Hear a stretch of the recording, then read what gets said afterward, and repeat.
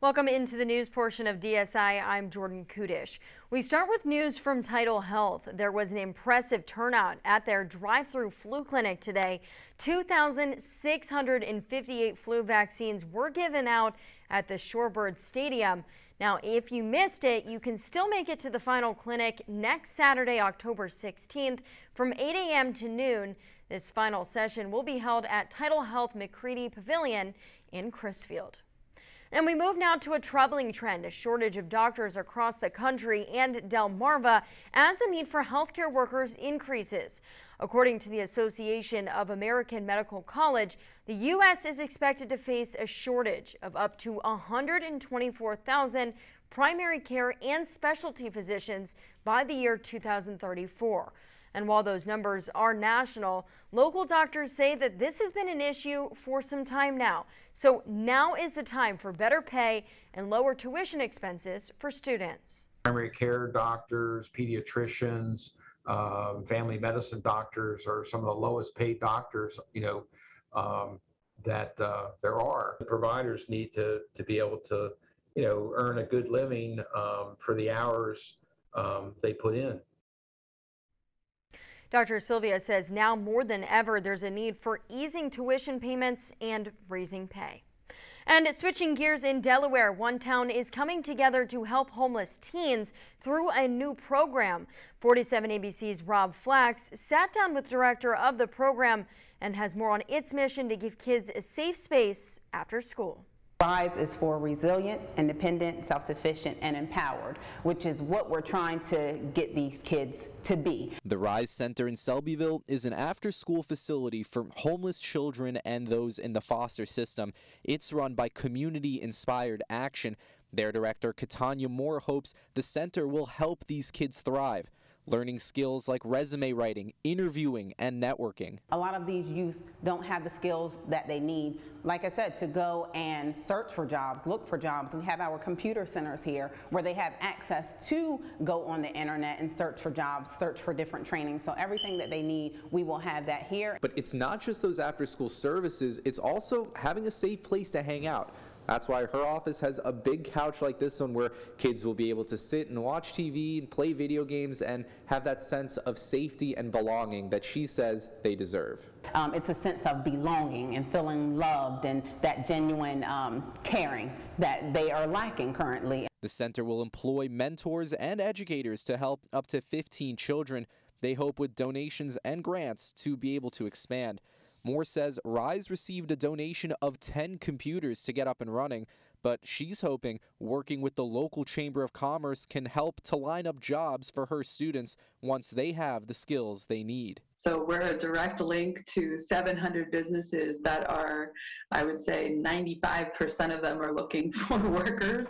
Moore says these types of partnerships help kids and the community. If we don't teach these kids now or help them and provide them with the resources needed down the road, we will be spending more tax dollars, you know, to get them out of that bad situation. In Selbyville, Rob Flax, 47 ABC. And that center is set to open this Monday, October 11th. And if you're looking to donate or help out, you can find out that information on our website. That's 47abc.com.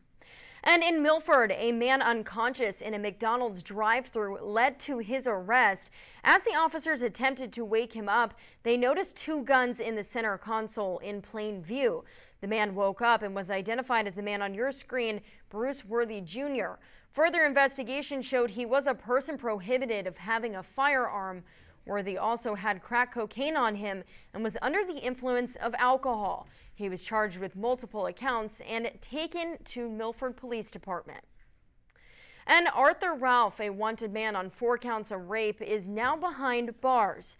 Delaware State Police arrested Ralph today after troopers requested the public's assistance in finding him. He's been committed to Sussex Correctional Institution on an $80,000 cash bond. And with that, we're going to toss things over to Chief Meteorologist Daniel Johnson for a look at your weekend forecast. Hey, Jordan, thank you very much. Yeah, we are expecting a little bit of a wet weekend, occasional showers here and there. We'll talk about that in a couple of seconds. This is our Morse Roofing and Siding Skycam, of course, a live look outside in Rehoboth Beach. A little bit of a breeze out there tonight, but it was gorgeous earlier today in Ocean City. Marlene was at Seacrets today and she took an amazing sunset picture. Look at the pretty colors, the sun reflecting off the water, the seagull there too, the trees in the picture. Just a really nice uh, photo there. Thank you so much, Marlene. Now, we are talking about temperatures near 60 right now 60 for Chucky and Lewes, 67 for John and Fenwick, and 67 for Josh, our weather watcher, in Marion Station. Wind speeds are calm right now and a little bit breezy though at the coast. Inland areas is where we're seeing the calmer winds. As we head into uh, your Saturday, winds will be a bit breezy uh, between 15 and 20 miles per hour, and that will remain the case into Sunday. And some winds could gust as high as 25 or 30, and that's all due to a coastal low uh, that is moving up the coast. And you can see it right here on Saturday. We're looking at an east wind because we're stuck between a high pressure and a low pressure. Just like if you're in the middle of a downtown city, you're between two buildings, there's a tunneling effect. The wind is going to be a little bit stronger between those two buildings. So just imagine the high and low are two buildings, and we're right in the middle. So the winds are going to be picking up over the weekend. Mostly dry Saturday, but that low pressure gets closer as we head into your Sunday, and that's going to throw in some moisture, some rain into our area uh, for the second half of the weekend, especially. But we initially thought this low would be a little bit closer to the coast.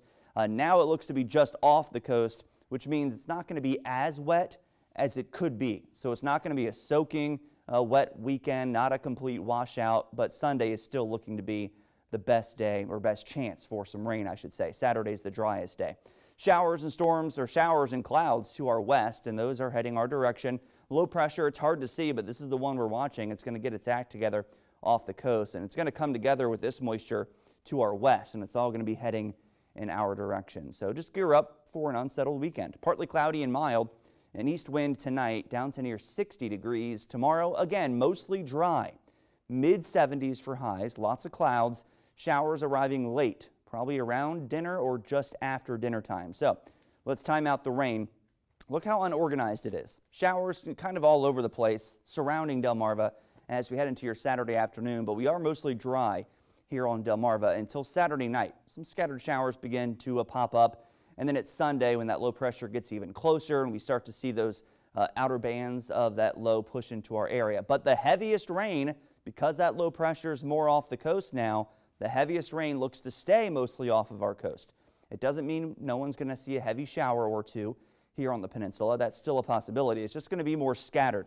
You can see more scattered showers through Sunday evening and even Monday. We could still be, still be feeling some residual effects uh, from that east wind and some leftover showers for the beginning of the week. So how much rain over the weekend? Not much. Forecast models are not that impressed. Maybe a quarter of an inch, perhaps a little bit more in some spots if some heavier uh, rain uh, does push in. Again, lingering showers Monday, temperature staying in the 70s for the next several, but the middle to end of next week looking gorgeous. Lots of sunshine, 80s. And by then, we're already in the middle of October. You're watching 47 ABC. Keep it here. We'll be right back. Hi, I'm Coach JD Moore of Cape Henlopen High School, and you're watching Delmarva Sports Insider.